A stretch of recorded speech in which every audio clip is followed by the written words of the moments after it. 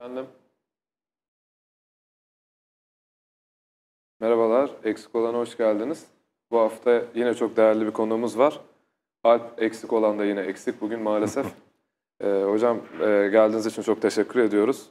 Hem e, akademisyen kimliğinizde hem e, yazar kimliğinizde tabii ikisinde nasıl paralellikler gösteriyor, ikisiyle beraber aynı anda çalışmak, böyle disiplinler arası size ne yaşatıyor bunları da konuşmak istiyoruz. İsterseniz en son çıkan e, Açık Radyo ve Nazım Hikmet Kültür Sanat Araştırma Merkezi'nin beraber hazırladığı e, Nazım Hikmet'in 70. E, yılında e, hazırlanan kitaptan başlayalım. Memleketimden insan manzaraları konseptine yakın, onu çağrıştıran ama bu sefer insanlar kendili hikayelerini yolladılar, size yazdılar. E, bununla ilgili ne söylemek istersiniz? Evet, te- önce teşekkür ederim çağırdığınız için. Ee, sözünü ettiğin proje Türkiye Hikayelerini Anlatıyor projesi. Aslında 2015 civarında başladık biz ona. Ee, Açık Radyo'dan e, Güven Güzeldere e, aslında bir fikirle gelmişti. O da Paul Auster'ın Amerika'da e, radyo hikayeleri başlığı altında yaptığı bir e, proje vardı. E, projenin amacı Amerika'dan çeşitli yerlerden insanların kendi gerçek hikayelerini yazıp Polostra göndermesi, Polostra'nın bunları edit ettikten sonra radyoda kendisinin okuması üstüne kurulu bir e, proje ve sonra da bunun kitabını yaptı. E, Güven Güzeldere de hep ya ben de hep bunu Türkiye'de Türkçe yapılsa ama işte bir edebiyatçı da olsa işin içinde diye konuşurken benim de o tarihlerde Nazım Hikmet Kültür ve Sanat Araştırma Merkezi Boğaziçi Üniversitesi'nde kurulmuştu ki bu önemli bir şeydi. Biraz oradan da Ee, detaylı onu da bahsedebilir anlatayım. Ee, yani biliyorsunuz Nazım Hikmet çok önemli bir e, şair, yazar ve hayatı Türkiye Cumhuriyeti'nin iniş çıkışlarıyla paralellikler göstererek bunun çok e, cefasını da çekmiş e, bir e, yazar. Vatandaşlıktan e, çıkarılması, sürgün edilmesi, hapishane hayatı ama sonra e, itibarın iade edilmesi, hatta işte kitaplarının en büyük yayın evleri tarafından günümüzde basılıyor olması ve çok satılıyor olması, çok benimsenmesi, tekrar kazanılması ve hatta ilk kez devletin bir kurumunda adını taşıyan bir birimin kurulmasına kadar geldi. Tabii ki onun dışında birçok sivil başka e, vakıf, dernek, e, sahip çıkan merkez, belediye vardı ama ilk kez bu da böyle bir e, oluşumdu. Amacı Nazım Hikmet'in eserini, eserlerini, bütün bir dünyasını tabii ki daha fazla araştırılmasını sağlamak ama bununla da sınırlı kalmamak. E, bu önemli çünkü Nazım Hikmet bu kadar önemli bir şair olmasına rağmen Türkiye'de üzerine akademik olarak çalışılmış, e, çok e, az çalışılmış bir şair. Evet çok enteresan. E, ben de çünkü çok duymadım. yasak olunca, sakıncalı olunca akademide bunu çalışmak mümkün olmuyordu yıllar boyunca. Bu dönemde bile hala E şimdi çok bile az az. duyduğum bir şey benim. Şimdi bile az. Ee, onun da birçok başka sebepleri var, birçok başka ön yargılar var. Ee, bir yazarı tabii kimi zaman biz e, e, çeşitli e, siyasi nedenlerle veya kendi yaşamından kaynaklanan nedenler belli bir imaj içerisine sıkıştırıp belli bir kategoride değerlendirmeye çok alışıyor bazen e, okur kitleleri ve akademik kitleler. Daha sonra zaman geçiyor ama birdenbire bir çalışma yapılıyor ve bambaşka bir bakış açısıyla aa bir dakika biz bu şairi, bu yazarı bir de bu açıdan değerlendirelim deniliyor. Bence tam da o zamanlara geliniyor şu anda E, ve üzerine yapılan çalışmaların da artacağını umuyoruz. İşte merkezin böyle kültürel başka etkinlikleri de vardı. Biz de işin içine dahil olduk. Açık Radyo bizim merkez. E, ortaklaşa bir proje yaptık. Dedik ki memleketinin insan manzaraları gibi bir eseri yap, yazmış bir şair var ortada. Yani sadece o bir şiir de değil zaten biliyorsunuz. O aslında bir roman da denilebilecek bir eser. Yevgeni Son Onegin derece- gibi aslında böyle Efendim? bir şi- şiirsel roman anlamında Yevgeni Onegin Evet. gibi belki. Yani ke- çok deneysel bir tarafı da var, çok modernist bir tarafı da var. Zaten Nazım Hikmet bunu yazılarında da belirtiyor. Yepyeni bir şey yapıyorum. İçinde sinema da var, tiyatro da var, roman da var, şiir de var. Başka bir şey yapıyorum. Çünkü ben yeni dünyanın edebiyatının peşindeyim. Devrimcilik bir yandan da o türden de bir arayışı da barındırıyor. Beni de bu çok yakın hissediyorum kendimi tabii bu duruma. Ee, cep telefonları tabii şakalar yapabiliyor. Evet. Her neyse sonuçta biz de dahil olduk ve dedik ki "E, ya 70. yılına yaklaşık denk geliyor. Tam tabii belli değil. Memleketin insan manzaraları 1939'da başlıyor. E, tam bitiş tarihi o kadar da net değil ama e, yani 70 yıl civarında bir yıl. Biz de bunun konseptine, bunun e, bunun anısına bir biçimde bağlı kalarak da Böyle bir e, şey yaptık, çağrı yayınladık radyodan ve hakikaten 400'ün üzerinde öykü e, hikaye geldi. Öykü demiyorum aslında. Çünkü bunlar kurmaca değil. Hani bugünkü başlığımız belki kurmacanın büyüsü ama bunlar gerçek hayat hikayeleri istedik biz. Anı, anı türünde mi Gerçekten hikayeler? başlarından geçmiş e, hikayeler. Peki üçüncü şahısta mı anlatıyorlardı yoksa? Genellikle ben anlatıcı oluyor ama üçüncü şahıstan da anlatılsa sorun değil. Önemli olan gerçekten yaşanmış olması. Bunları tabii içlerinden 100-120'ye indirdik. Ondan sonra bunlar radyoda seslendirildi. Ee, hala da erişilebiliyor sesli olarak da. Sonra da can yayınları işin içine dahil oldu. Çünkü Paul Auster'ın o kitabı e, babama Tanrı zannetmiştim, sanmıştım. E, o da Amerikan bu e, radyo hikayelerini bu başlıkla yayınlamıştı. E, onun yayıncısı, e, benim de zaten yayıncım. Bir araya geldik. Bu sefer de geçen sene kitap haline getirdik. Bütün yazarları Boğaziçi Üniversitesi'ne çağırdık kitap çıktığında. Yazarlar aileleriyle geldiler, ya da arkadaşlarıyla geldiler. E, çok büyük bir buluşma oldu. İlk kez bu kadar e, çok sayıda, bu arada şeyi unutmamalıyım, e, bu hikayeleri biz elden geçirdik. E, biz derken 15-20 tane editör arkadaş yani içerisinde işte Hakan Günday, Ayfer Tunç gibi yazarların da veya akademisyenlerin de bulunduğu e, onların da katkısı var. Yani sadece biz dört kişi Açık Radyo, Merkez, e, bütün bu yazar arkadaşlar, editörler ve 120-130'un üzerinde yazarla bu kitap çıktı. Peki bu kitap bize ne anlatıyor? Bu kitap bize aslında insanlarımızın Türkiye'de ne yaşadığını, nasıl yaşadığını, neler hissettiklerini anlatıyor. Güzel olan şu, Amerika'da yazılmış olanı da var elimizde. Böylelikle kıyaslamak mümkün. Yani iki farklı halk aslında birbiriyle çok farklı yerlerde ama neler yaşıyor? Tasniften bakarsanız anlarsınız. Mesela iki kitapta da hayvan hikayeleri bayağı ciddi bir yer tutuyor. Öyle mi? E tabi yani köpeğiyle, kedisiyle, horozuyla, kertenkeleyle, karşısına çıkmış bir yılanla yaşadığı bir macera insanların hayatlarında unutamadıkları bir hikaye olabiliyor. Veya aile hikayeleri iki tarafta da çok yoğun var. Ee, bunun gibi çeşitli kategoriler var. Delilik hikayeleri, savaş hikayeleri. Mesela şeyde daha fazla savaş hikayesi çıkarken Amerika'da bizdeki hikayelerde çok ilginçtir. Şey çok e, merkezdeydi. Hayat mücadelesi, eğitime ulaşma çabası. Mesela bu e, hikayelerin light motifi olarak veya anlatılan hikayenin bizatihi kendisi olarak nasıl birisine yardım etti ya da birisinden yardım gördü ve okuma şansı buldu ve işte bir öğretmen oldu vesaire. Bunlar tabii çok bence değerli, kıymetli işler. Çünkü biz insanları ne zaman görüyoruz, birbirimizi ne zaman görüyoruz? Haberlerde görüyoruz ama o haberlere konu olduğumuz zaman görüyoruz. Genellikle de üçüncü sayfadan görüyoruz insanlarımızı. Oysa ki insanlarımız sadece üçüncü sayfa haberlerinin kahramanı oldukları zaman değil, normal hayatlarını yaşarken, evet işte kedisiyle, köpeğiyle, çocuğuyla, annesiyle, babasıyla veya sevgilisiyle yaşadıklarıyla da insan. Bunları fark etmeye de yarıyor ve illa edebiyat olması gerekmiyor. Bir fark da şu, Amerikan hikayelerinde daha çok aşk hikayesi gelirken bizde pek gelmedi. Galiba insanlar pek e, aşklarından değil de acılarından bahsetmeyi daha çok yeğliyorlar gibi. Bu da benim kişisel bir gözlemim olsun. Ee, şey yani aşk e, acısı yok muydu mesela? Aşk acısı var ama aşk hikayesinin başlangıcı gibi ya da işte e, mutlu sonla biten aşk hikayeleri pek yok. Yani daha böyle platonik, arabesk. Bazen evet ve delilikle sonlanan. Şimdi e, söylediğiniz üçüncü sayfa haberlerini o kadar da ciddiye almıyoruz. Aklıma ilk o geldi. Sanki bizden uzakta olan bir şeymiş gibi. Bu sosyal medyada da bence artık böyle. Her şeyle dalga geçilmeye başlandı. Evet. Yani e, herkese çok yakınız. Artık bir tık uzaktayız. Dolayısıyla bir saygı da kalmadı. Yani bunu çok böyle muhafazakar bir tonda söylemiyorum. Ee, şimdi bu durumda edebiyatın işlevi zaten daha fazla belki olayın içine girip empati kurmamız. Siz de e, büyü bozumu ve yaratıcı yazarlık hem e, dersleri veriyorsunuz. Ayfer Tunç'la beraber onu da buradan analım. E, hem de e, kolektif bir şekilde yaz, yazmanın belli tekniklerinin aynı resim gibi bir ressamın nasıl öğrenebilmesi gerekiyor, eğitimini alması gerekiyor. Bunun bir haritasını e, veriyorsunuz. Ve kitabın başlarında şöyle bir şey var. E, gerçek hayatla kurmacanın farkı. Gerçek hayat sürekli gelişme, gelişme, gelişme diye giderken burada bir olay örgüsü var. Ama biz bazen işte bu üçüncü sayfa haberlerinden hatta bazen önümüzden geçen şeyden daha fazla empati kuruyoruz. Bunu sağlayan e, şey ne, güç ne e, edebiyatta sizce? Biraz karışık bir soru olmadı değil mi hocam?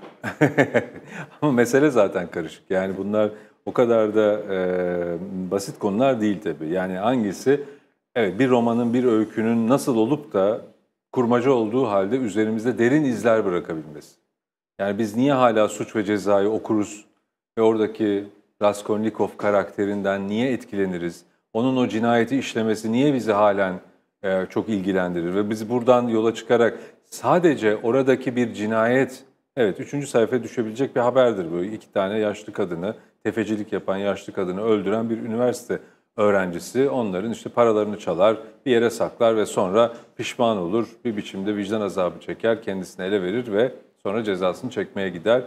Ve bütün bu hikaye bu kadar basittir aslında ama biz bundan hala 100 seneyi geçmesine rağmen bunu halen okumayı sürdürüyoruz ve orada e, bir biçimde e, özdeşlikler kuruyoruz, derinlikler buluyoruz. Bunu yapan şey ne? Asıl bizim edebiyattan beklediğimiz o tabii ki. Yoksa başımızdan geçmiş bir hikaye veya e, aklımıza gelen parlak bir fikri e, hemen görselleştirecek, bir başkasına iletecek e, şık bir mesaj haline getirmek değil. Tam tersi. Bizim bile tam bilmediğimiz, içinde yaşadığımız hayata, hakikate dair o sırlı gizemli şey neyse işte o. Bunun e, ayrıntılarını e, bir biçimde hissedebileceğimiz eserleri arıyoruz. Suç ve ceza bunlardan bir tanesi. Neden? Çünkü kötülük problemini tam da merkezine yerleştiriyordu ondan. Bize sahte bir iyilik masalı anlatmıyor. Ya da biz nasıl iyi oluruzu en azından birinci ciltte diyelim, ikinci ciltte belki birazcık daha e, Hristiyan bir çözümle sonuca, sonuca bağlanacak ama özellikle e, işin başlangıcında o kötülük problemini çok güzel e, bize verebiliyor. Ya da biz kendimiz o kötülük problemi onun içinde araştırıyoruz. Bence iyi eser bizim içine girip kendimizi araştırabildiğimiz, e, kendimizle ilgili bir şeyleri sorgulayabildiğimiz eserler oluyor.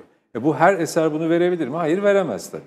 Yani çünkü bizim kendi hayatımızda da kimi öncelikler, kimi e, farklılıklar var. Yaşadığımız coğrafyadan, kültürden, içinde bulunduğumuz sınıfsal konumdan, cinsiyetimizden, politik durumdan kaynaklanan, değil mi? Hep her şey stabil ve her yerde aynı değil. Dolayısıyla biz de aynı değiliz. E, biz de e, o yüzden kimi zaman bazı eserleri daha fazla heyecanla sarılıyoruz ve onları okumaya çalışıyoruz. Okuduğumuz zaman da e, bir biçimde yaşadığımız hayata dair bir şey öğreniyoruz. O da ne? Yaşadığımız hayatın bize bir biçimde anlatılan bir hikaye olduğunu ve bunu bizi mutlu etmek için anlatıldığını, oysa ki edebiyatın o anlatılan hikayenin sağlam bir hikaye olmadığını bize gösterdiğini görüyoruz. Bak bu da karmaşık bir cevap oldu işte. Evet işte ama son söylediğiniz daha derinlikli bir hikaye. Yani o çok evet, yani- ince bir sınır galiba. Şu aslında yani dış, dünya bize ne anlatıyor? Dünya derken neden bahsediyoruz? İşte her kim konuşabiliyorsa bize bir şey anlatıyor. Devlet başta olmak üzere veya sivil toplum kuruluşları veya dini cemaatler veya kim olursa olsun. Herhangi bir grup insan bize bir şey anlatıyor. Ve anlattığı şey de şu, yani bakın iyi şöyle olunur, biz iyiler buradayız, sen de bize katıl. Bak bir de orada kötüler var.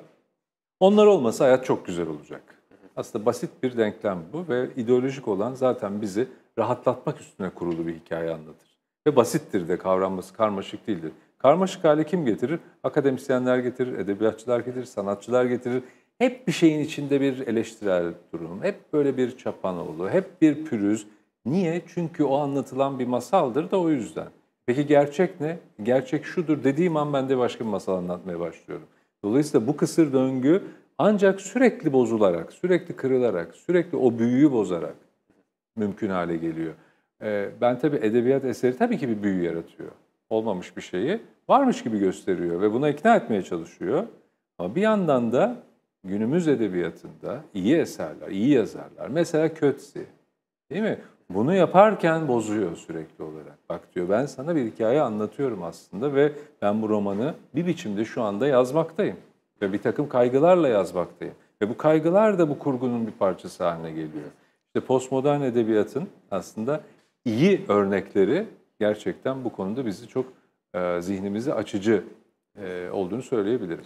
Hocam şimdi siz master yüksek lisans eğitiminizde psikoloji eğitimi aldınız doğru Evet. değil mi? Şimdi e, bununla alakalı Freud'un bir yorumu da var kitapta. Fantezi üretmekle. Çocukken e, oyun oynarken Evet. e, bir oyun kurarız ve büyük gibi kendimizi görürüz. Genelde bu evcilik olur. Aynı bir fantezi yaratımını e, büyüdüğümüzde de yazarken aslında tekrardan geçmişe doğru dönmek üzere gerçekleştirmeye çalıştığımızdan e, Freud bahsediyor. Size bu yoruma biraz katılıyorsunuz galiba.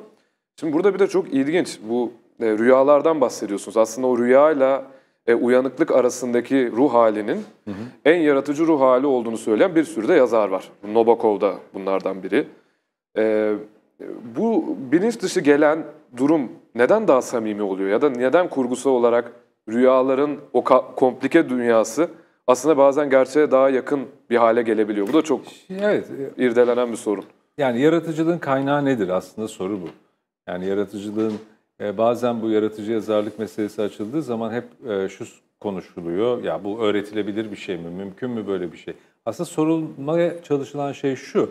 Ya bütün bu eserlerin bizi etkileyen romanların, öykülerin, filmlerin, şiirlerin arkasında şaşırtıcı bir şey vardır. Hatta bu yazarını, şairini, yönetmenini bile ki bir zaman şaşırtan bir şeydir. Bu şu değildir. Ben çok iyi bir şey biliyorum. Hayatta bir şey öğrendim, çalıştım ve kendimce bunu geliştirdim. Şimdi size bunu anlatacağım. Bu değil. Mesela bu iyi bir ders anlatımı böyle yapılabilir. Ben o konuda çok çalışmışımdır. Konuyu çok hakimimdir ve bir öğrencinin bunu en iyi şekilde nasıl algılayabileceğini hesaplayarak planlarım ve bunu bir ders materyali haline getiririm ve anlatırım. Ama bu bir sanat değil. Yani tamam bunu iyi yapmak, güzel yapmak çok hoş bir şey ama sanattan beklediğimiz başka bir şey var. Nedir o? Özünde olan bir şey, içeriğinde olan bir şey. Daha önce hiç söylenmemiş bir şey kaldı mı? Evet varmış gibi gerçekten onu ortaya çıkaran şey. O da nedir? O da o sanatçının kendi bilinç dışıyla kurduğu ilişkiden kaynaklanan, çok adını koyamadığı ancak yazarken, üretirken kendisinin de sezdiği, keşfettiği bir öz. Yani bunu biz ancak ne- nerede yaşarız gündelik hayatımızda? Rüyalarda yaşarız. Çünkü herkes rüya görür. Bazısı hatırlamaz ama e, herkes görüyor. Ve hatırlayanlar da şuna şaşırıyorlar. Ya ne alakası şeyler gördüm yine. Ha, bazen de çok alakalı şeyler görürüz. Yani yarın okullar açılıyordur ve stres olmuşuzdur ve bir türlü okulun binasını bulamayız ya da gireriz geç kalmışızdır gibi rüyalar. Tamam ama bir de çok ilgisiz, hiç durduk yere bir yerlerden çıkmış, anlam veremediğimiz, sürreel, absürt, farklı rüyalar vardır. Ben o yüzden rüya anlattırmayı da çok severim. Çünkü insanlar, yani sıkıcı insan çoktur ama o sıkıcı insanlara bile rüyalarını anlattıkları zaman dikkat edin, hiç de sıkıcı olmayan bir iç dünyaları olduğunu fark edersin. İç Evet. dünya sıkıcı değildir.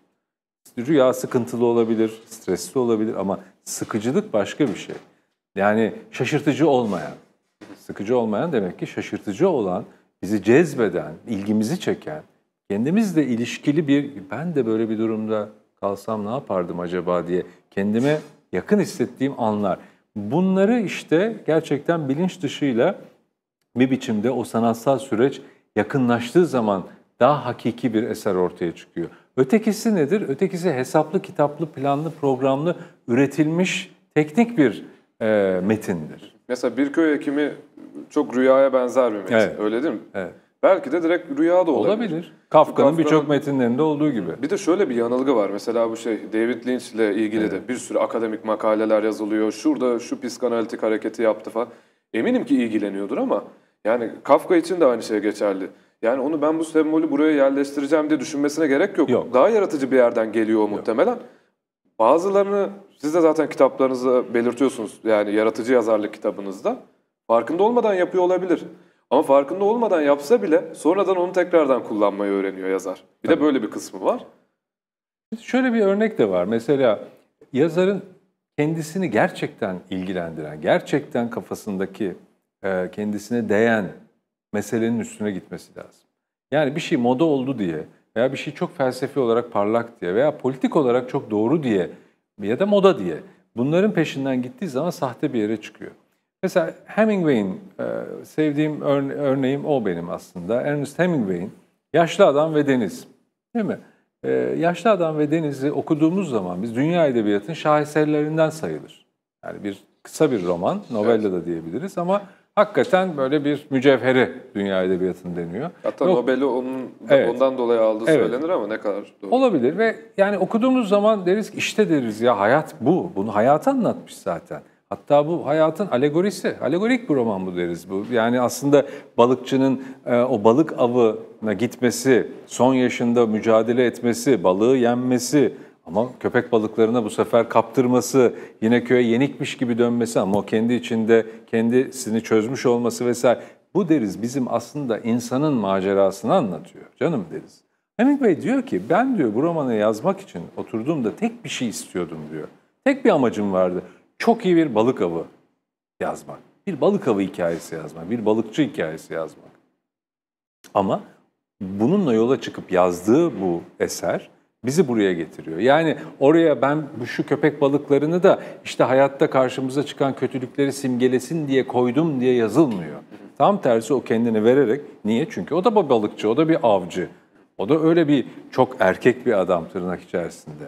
Hayatı bunlarla geçmiş. Sürek avları, işte savaş e, şeyleri, e, asker, e, asker olarak ambulans şoförlüğü vesaire böyle bir hayatı hep buralarda geçmiş ve son yaşına geldiğinde de artık yapamama noktasına geldi. Belli ki bundan sonrası yaşlılık ve ölüm böyle bir eser kalemi alıyor. Yani kendi meselesi, onun gerçekten canını yakan bir mesele yaşlanmak. Yani- Yoksa şöyle değil. Ya ben bir eser yazacağım. Evet ne yapayım? Ya bir hayatın alegorisi olsun. Hayatı temsil etsin. Nasıl etsin? Acaba ne üstünden edeyim?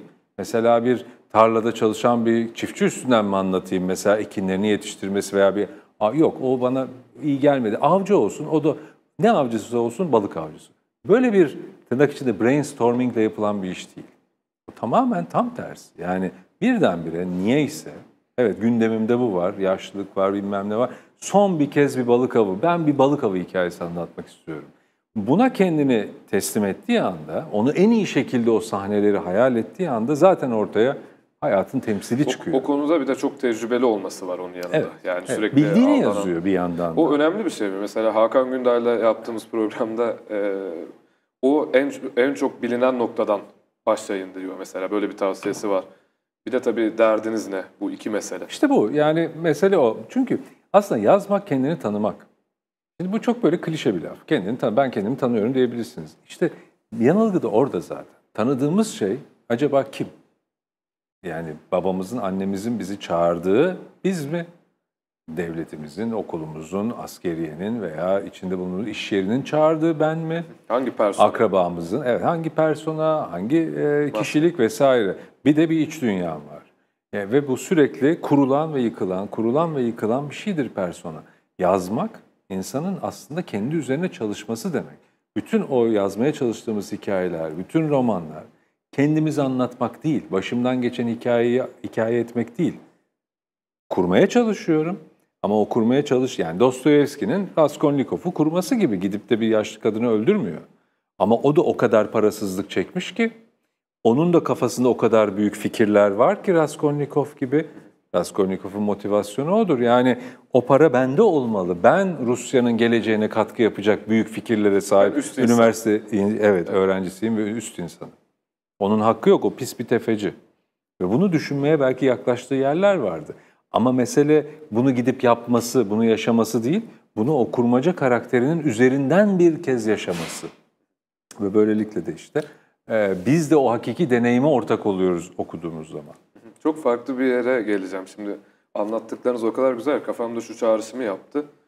Rus edebiyatıyla Türk edebiyatını yer yer akademisyenler çok benzetirler birbirlerine. Ama Ahmet Hamdi Tanpınar'ın bir de Hemingway'e gelirsek eee, şöyle bir yorumu var. Kitabınızda da bunu kullanmışsınız.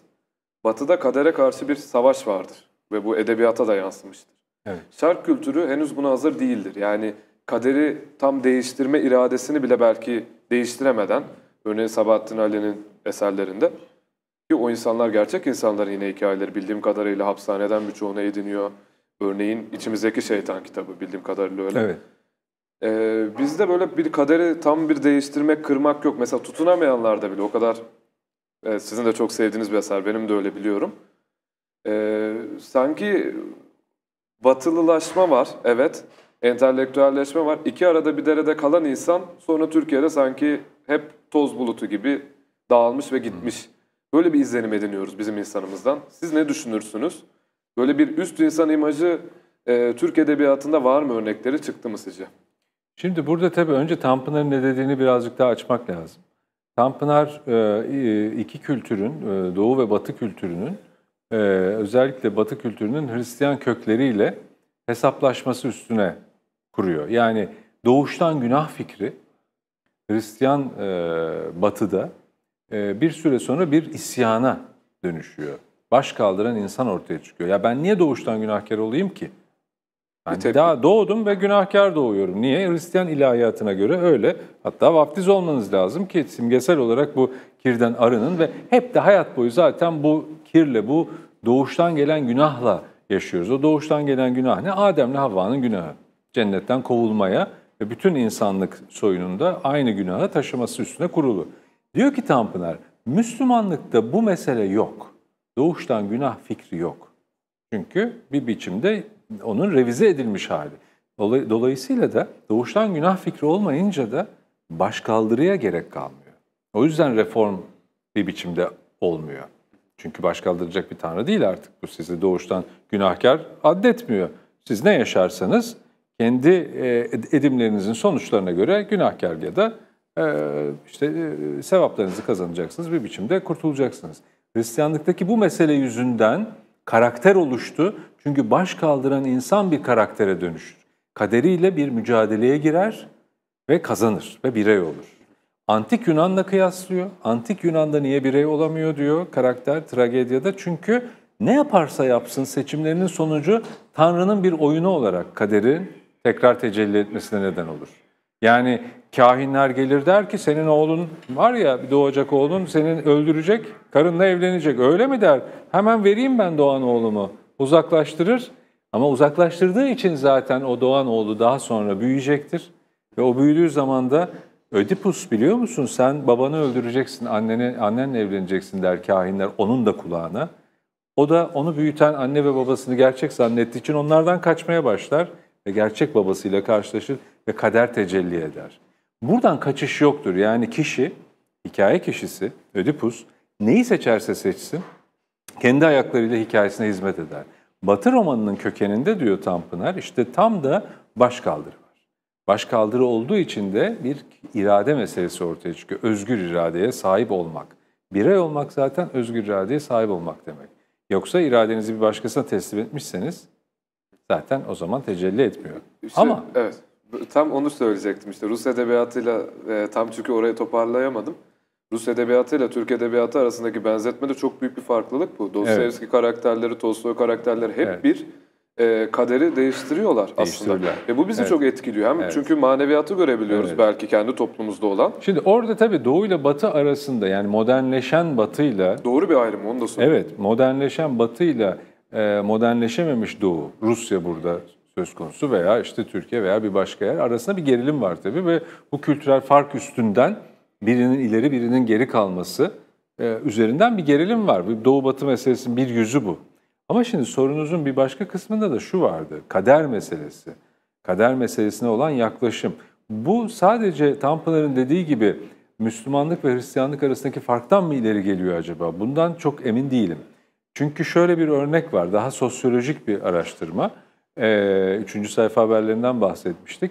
Amerika'daki üçüncü sayfa haberleriyle Hindistan'daki üçüncü sayfa haberleri karşılaştırmalı analiz ediliyor. Bakın bu Müslüman bir toplum değil sonuçta en azından e, toplam haklısın. olarak değil. E, şu açıdan cinayet haberlerindeki katil nasıl anlatılıyor? Amerikan gazetelerindeki katil haberlerinde katilin psikolojik profili üzerinden anlatılıyor. Yani bu cinayeti işleyen adamın ruhsal durumu nedir? Psikolojisi nedir? Bunun üzerinden anlatılırken Hint gazetelerinde katilin e, onu katil yapan koşullar neymiş onun üstünden anlatılıyor. Yani kişiyi nasıl katil yapmış koşullar? Katil olmak başına nasıl gelmiş? Bunun hikayesini anlatıyor. Bakın öteki tarafta katil kendisi bizatihi o kişi olduğu için adeta katil olmayı seçmiş. Nabokov'un Ve katil olmuş. Cinneti gibi bu mesela. Bu taraftaki ise katil olmak başına geliyor. Bizde de yok mudur yani siz işte töre yüzünden, e, çevre yüzünden vesaire başka yüz, bir, şey, bir şekilde mecbur kalıp katil olmuştur. Ya da hep öyle denir ya toplum yaptı aslında onu, onun kendisi suçlu değil biz suçluyuz. Ha, bunda bir tabii doğruluk payı olmakla birlikte biz o kavrama ne diyoruz? Katil olmak başına gelmiş. Kader kurbanı diyoruz değil mi? Kader kurbanı kavramı zaten kimi temsil eder? Kader kurbanı mezarda yatanı değil, yani öldürülmüş olanı değil, öldüreni işaret eder. Kurban kimdir? Oysa ki ölendir kurban. Ama değildir işte. Hint gazetesine göre de değil mi? Doğu toplumunda diyor bu araştırmanın sonucu yaklaşım farklı. Bir tarafta kader bu sizin başınıza geliyor. Yani deterministik bir tarafı var. Siz siz olduğunuz için katil olmuyorsunuz. Dolayısıyla da doğuda katili yakalamak çok zor. Yakaladığınız zaman mağdur veriyor zaten. Elinizde kurbana dönüşüyor. Tabii bunlar edebiyata yansımıyor mu? Yansıyor. Nasıl yansıyor? Kaderini eline almayı bir türlü beceremeyen, her şey hep başına gelen karakter, pasif karakterler oluyor bizim yazdıklarımız Benim belki aklıma de. yani bu arada izleyicilere de tavsiye etmek istiyorum. Tolstoy'un dirilişini getirdi. Bütün bu mesele. Aslında Katyusha karakteri orada. Çok da böyle detay vermeden okumayanlar için. Ee, resmen başkaları yüzünden bir bataklığa doğru itilir. Ve bir roman boyunca aslında onun suçsuz olduğunu, diğerlerinin suçlu olduğunu, hatta toplumun suçlu olduğunu yavaş yavaş görmeye başlarız. Hocam biraz hızlanalım. Yani sizin e, 2016 yılında çıkan e, en son kitabınızı bir tanıtmak istiyorum. Yalnızlar için çok özel bir hizmet.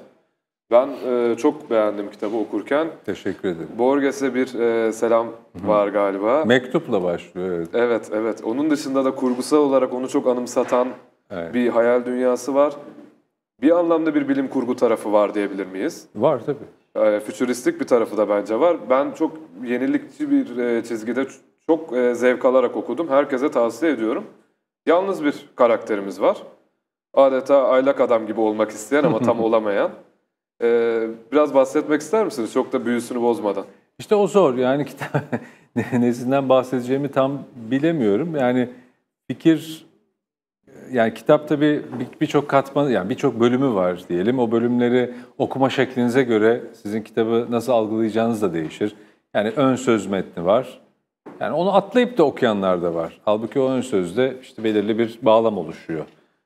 Ben sevgili Borges diye başlamışım bir mektup yazmaya. Sözüm ona ben. Yani bu kitabın eee, yazarı diyelim.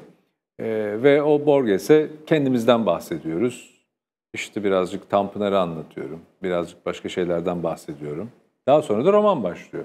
E, romana girdiğimiz zaman da yine kendime çok yakın bir karakter aslında. İsim olarak da, çalıştığı iş olarak da. Birazcık bu kitap hakikaten bütün bölümleriyle benim kendi e, kendi kişiliğimi böyle nasıl diyeyim ötelenmiş, hafif bozulmuş, bozuntuya uğratılmış Evet. hallerinin böyle bir toplamı gibi aslında. Çünkü farklı bölümlerde farklı yazar personelleri de var kitapta. O samimiyetten söyleyince çok hissediliyor biliyor musunuz hocam? Evet, o böyle- biraz şey... Değil mi? evet. Böyle söyleyince çok karmaşıkmış gibi geliyor ama aslında e, o kadar da karmaşık değil. Çok orta yerinde duran basit bir hikaye var. O hikayede de bir şirket var ve bir merdiven altı şirket aslında. Çok da legal bir şirkette diyemeyiz ama şunu yapabiliyor. Siz öldüğünüz zaman sizin zihninizi eğer almak isteyen olursa bir başkasının zihninin içine aktarabiliyor bir biçimde. Bir teknolojiyle. E, ve böylelikle de sizin bedeniniz öldükten sonra mesela kaza geçirdiniz küt diye bir yerde ya da kalp krizi geçirdiniz. Kurtulama, kurtul, kurtulamıyorsunuz ama beyninizden zihniniz alınıyor bir başkası misafir etmeye hevesli birisinin zihnine yerleştiriyor. Bu fikir aklıma geldiği zaman benim şunu düşünmüştüm aslında. İnsanın aklına böyle fikirler gelir zaman zaman veya daha çeşitli şeylerde. Böyle bir teknoloji olsa bundan kim yararlanırdı? Kim satın alırdı bir başkasının zihnini? Düşünsenize yani şu anda aklımızın içinde kendi kendimizeyiz. Bir başkası yok. Ama tutun ki bir başkasını da zihnimin içine koydum. Bir hayal arkadaş gibi. Dedim bundan en çok herhalde şeyler e, istifade yararlanırdı. Yalnız insanlar. Belki kimsesizler. Belki de. Yani yalnız bir insan, tamamen yalnız bir insan ve hiçbir şekilde de bu yalnızlığıyla başa çıkamayan bir insan. Evet ya bir ölünün de zihni olsa kendi içimde olsun, benimle birlikte yaşasın. Hiç değilse bir arkadaşlık edelim. İşte bizim kahramanımız da böyle bir şirkete gider ve yalnızlığına bir çare olsun diye ama içine bir kadın zihnini alır.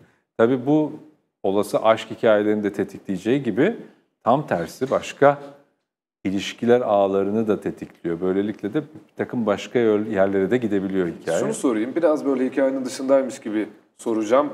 Merak kalsın istiyorum romana. Bir kişiyken idare edebiliyoruz. Kararlarımızı veriyoruz. Bazen kendimizden sıkılıyoruz. İki kişi olduğumuzda, yani bunun birazcık da metafor olarak aldığımızda, hayatı bütün yönleriyle paylaştığımız bir insan hayal edelim. O zaman da belki biraz daha az sorun çıkıyor. Bu mesele üçüncü kişi girdiğinde mi e, bir şeyler bozulmaya başlıyor. Yani bu toplum dediğimiz yapılar kolektifleşmeye başlıyor. Ve bu mu sorunu çıkartan?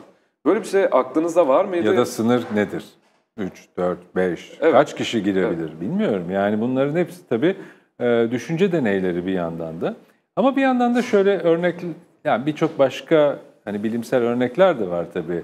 E, ama e, şurası kesin ki yani iç sesimiz, bizim kendi içimizdeki ses, biz bir tane zannettiğimiz ses aslında bir tane değil. Yani bundan yani çok kişilikliliği kastetmiyorum. Kimi zaman babamızın sesini duyarız, kimi zaman annemizin, kimi zaman bir öğretmenin. Kimi zaman bir roman okuruz ve çok etkisinde kalırız. Bana çok olur mesela. O romanın dili bir ses olarak zihnimde kalır ve yaşadığım anları o romanın diliyle seslendirdiğimi hissederim kendi içimden. Ama çok etkilenmişsem tabii. Evet. Ve gençken daha çok olurdu galiba. Ya da işte yazdıktan sonra da, yazmaya başladıktan sonra da artık yazmakta olduğum sesle. Şimdi bu çok tuhaf bir şey. Mesela kitabı ya da herhangi bir metni yazıyorsunuz, sonra da veriyorsunuz birisi okusun diye. Sonra da bekliyorsunuz merakla acaba ne düşünecek diye. E ben eğer sizi tanıyorsam, şimdi Ömer açtı bu ilk sayfayı nasıl okuyor? Onun gözüyle okuyabiliyorum ben. Hiç kendi gözüm gibi değil de Ömer şimdi bunu bu satırları nasıl okuyor? Çünkü biliyorum ki ben Ömer Borges seviyor. Biliyorum ki tutunamayanları seviyor ve o satırlara geldiği zaman buraları sezecek ve buralarla ilgili bir şeyler düşünecek. Sanki evet tanımak dediğimiz şey bir başkasının zihnini içimize almak ama bazen de işte etkiler bunlar. Kurtulamadığımız sesler de vardır. Bize hep belli bir şeyi yaptırtmak isteyen sesler de bizim içimizde. Yani bu tabii biraz bilim kurgu üstünden bunu e, ele aldığım bir hikaye ama bir tarafı da psikolojik bir tarafı da var tabii. Ee, şimdi vaktimiz de kısıtlandığı için biraz daha hızlanmak istiyorum. Ee, böyle son sorular artık. Peki. Ee, Nabokov'un Lolita'sından örnekleme yapmışsınız kitabınızda. Ee, aslında önceden hikayeleştirilmiş bir kitap. Lolita hikayesi olan bir kitap ve tekrardan yazılıyor tıpkı Faust gibi. Ee, ve şundan bahsetmişsiniz. Belli yaptığımız ilk okumalar ya da belki e, çok okuyan daha entelektüel insanlarda olan bir şey bence bu. Filmlerde de oluyor, çok film izleyenlerde de oluyor. Bir anda o fikir çok özgün geliyor ve onu yazıyoruz. Sonra bakıyoruz o fikir başka bir filmde ya da kitapta okuduğumuz varmış. Tekrardan yaratmak. Bu tekrardan yaratmak edebiyatta ama sürekli kendini yeniliyor ve bir sürü böyle eser var. Önemli olan motifler midir sizce? Tekrardan yaratırken. Ya önemli olan yazanın kendisinin o bilinç dışıyla nasıl bir ilişki kurduğu, kendisiyle bunu ne kadar açabildiği, kendisini bizim orada ne kadar bulabildiğimiz. Yoksa hikayenin kendisi değil ya da olay örgüsünün kendisi de değil. Kullanılan imgeler de değil. Bizi çeken şey bir yazarda ya da bir sanatçıda, sanat eserinde o kişinin kendi bilinç dışına ne kadar yaklaştı, oradan o sızmalara ne kadar izin verdi. Bunu tabii anlatması zor, hissetmesi kolay. Okuduğumuz zaman biz o yazarı severiz ve çok kendimize yakın hissederiz. Abi bakarız 150 sene önce ölmüş de olabilir. Bambaşka bir kültürde yaşamış hatta çevirisini bile okuyor olabiliriz. Ben mesela John Fowles okuduğum zaman, ilk okuduğum zamanlarda bu hisse çok yoğun bir şekilde hissettiğimi hatırlıyorum. Çok yakınız biz. Nasıl olabilir ki adam? İngiltere'de yaşıyor benden yaşlı, çok büyük. O tarihte yaşıyordu, şimdi öldü. Ama o kadar ben gibi geliyor ki. Niye öyle geliyor? Öyle gelmesinin sebebi çünkü benim de bilinç dışımdaki kimi unsurlarla onunki bir biçimde çakışıyor, eşleşiyor. Yani e, kendini açtığı anda çünkü o ortaklık hissini e, bulabiliyoruz. Mesela Paul Auster'da da ben onu hep bulurum. Benim için önemli değildir anlattığı hikaye, romanın çok teknik olarak harika olup olmaması, içindeki işte göndermeler, şunlar bunlar, oyunlar. Ondan daha önemlisi ya bana samimi bir şekilde kendini açtı mı? Yani o bilinç dışıyla gerçekten kendisiyle uğraşıyor mu şu anda? Yoksa bir kitap daha çıksın diye mi yazıyor bütün bunları? Yani profesyonelleşmiş mi yoksa hala bir sanatçı mı? E, e, son olarak hocam e, böyle çok kısa bir daha bir kısa cevap bekliyorum sizden çünkü az vaktimiz kaldı. E, şeyi soracağım. Herman Hesse'nin Öldürmeyeceksiniz adlı bir denemesinde okumuştum. Tam bu konuyla alakalı olduğu için aklıma geliyor. Sizin kitabınızda da bu var aslında. Bir e, yazar, bir genç bir yazar ona mektup yazıyor. Üretemiyorum, tıkanma yaşıyorum diyor. Ve bunu da şöyle anlatıyor. aklıma saçma salak fikirler geliyor, saçma sapan fikirler geliyor ve bunları da duymamaya başladım. Bunları baskılamaya başladım.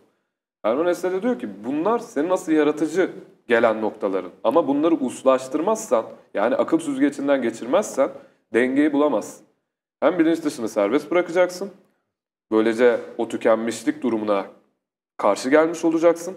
Hem de bunu yaparken teknik olarak da gelişmiş bir bakış açın olacak. Herhalde bu dengeyi tutturmak yazmanın ana unsuru mu? Nasıl bunu dengeleyebiliriz? Mesela çok teknikleşmek de belli konularda sorun olabilir mi? Son sorum işte. E, bence dengeye karşı bir iş yapmak lazım. Dengeyi bulmak değil, dengeyi iyice dengesizleşmeye çalışmak lazım. Niye? Çünkü bizi zaten sürekli dengede tutan bir şey var. Dil.